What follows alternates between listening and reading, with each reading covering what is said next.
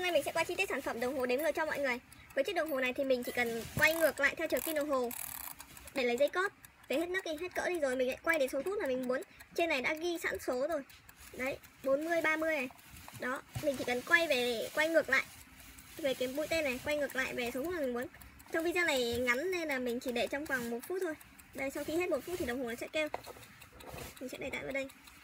Với chiếc đồng hồ này thì à, các mẹ có thể cho bé nhận biết về à, thời gian ví dụ như trong giờ chơi chẳng hạn mẹ muốn con chỉ chơi trong khoảng 20 phút nữa thôi là sẽ đến giờ đi ngủ thì mẹ chỉ cần đập đập đến 20 phút nữa. Sau sau khi hết 20 phút thì đồng hồ sẽ tự kêu và bé sẽ biết đấy là giờ đi ngủ rồi nên là bé sẽ tự động um, đi ngủ thôi.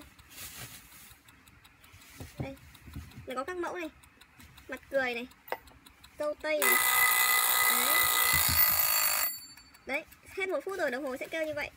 Đó lợn này cà chua cà bí ngô.